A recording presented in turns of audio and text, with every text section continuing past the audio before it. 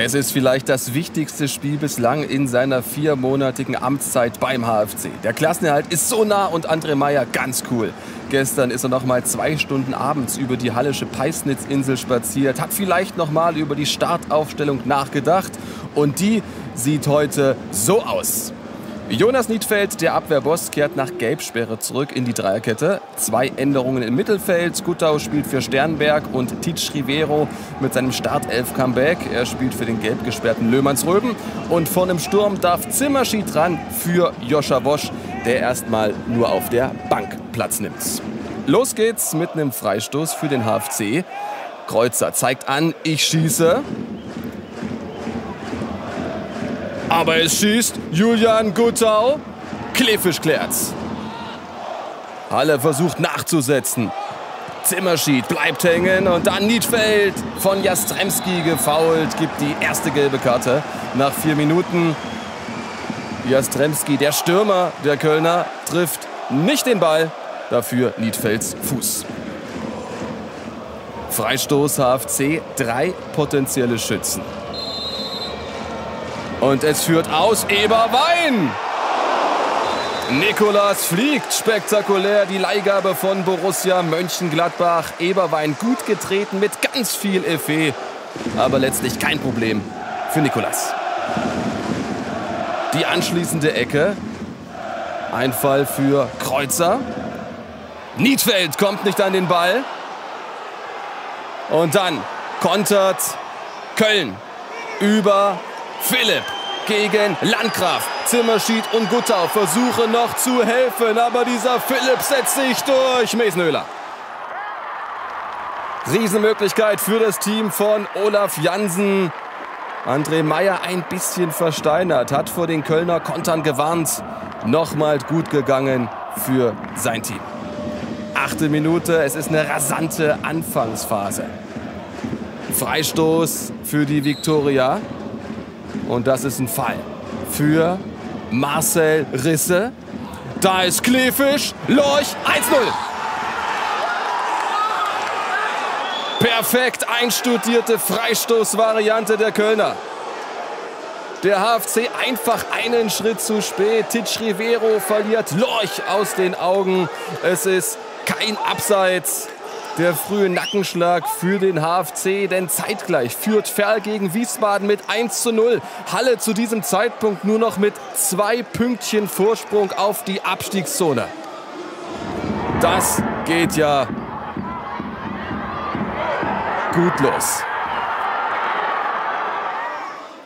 Der HFC aber vom Rückstand unbeeindruckt, versucht Fußball zu spielen. Niedfeld Titsch Rivero im Zusammenspiel mit Kreuzer. Titsch Rivero, Hut, Kreuzer, setzt Zimmerschied in Szene. Ball in den Rückraum für Eberwein. Warum schießt er nicht gleich? Michael Eberwein. Die Effektivität der Hinrunde, als er elfmal traf, die ist weg. Aber auch top geklärt vom Innenverteidiger der Kölner, von Siebert, der Leihgabe von Fortuna Düsseldorf. Nächste Ecke. Niklas Kreuzer. Zunächst abgewehrt, aber Kreuzer darf noch mal. Und da ist Titsch Rivero. Ausgleich.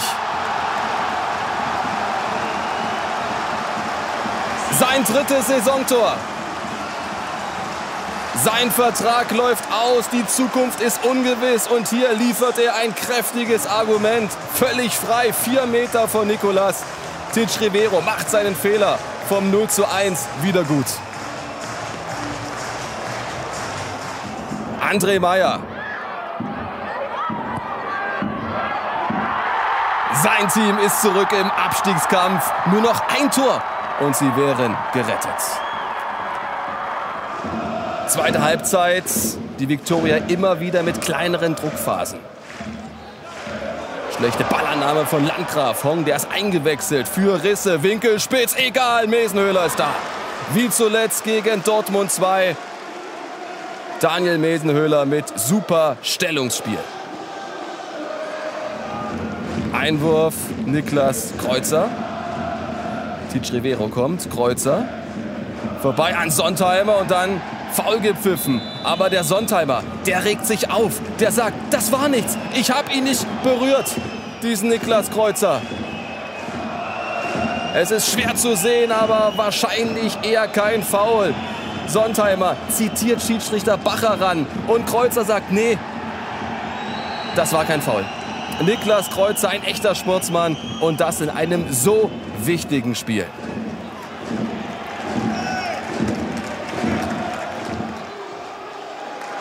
Das ist Vollert, der Innenverteidiger. Dribbelt mal an, das ist mutig. Janis Vollert, raus für Kreuzer.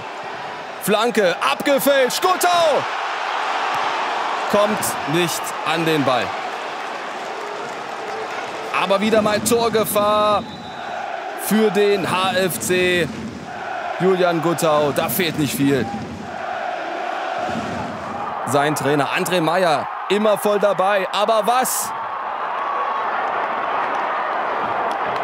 Willst du da machen? Köln inzwischen offensiv abgetaucht. Guttau beschleunigt das Spiel nochmal. Zimmerschied donnert da die Linie runter. Traut er sich ins 1-1 gegen Siebert? Na klar, Tom Zimmerschied! Solche Aktionen brauchen sie mehr beim HFC. Nach seiner Schulterverletzung kommt er immer besser in Tritt. Zimmerschied, auch wenn der Ertrag noch fehlt. 71. Minute, der HFC beim Spielaufbau überhaupt nicht mehr gestört. Reddemann für Derstroff, der ist eingewechselt. Auch der vernascht Siebert. Derstroff, wen sieht er? Landgraf! Die XXL-Chance zum Klassenerhalt. Noch nie hat Landgraf für Halle getroffen. Jetzt wäre es der perfekte Zeitpunkt gewesen, denkt sich auch Vorbereiter Derstroff.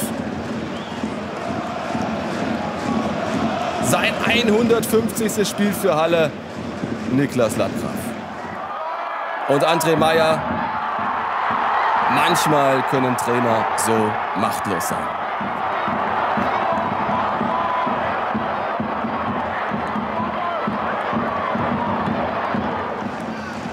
Schlussphase. Halle probiert's nochmal. Das Bemühen kann man ihnen nicht absprechen.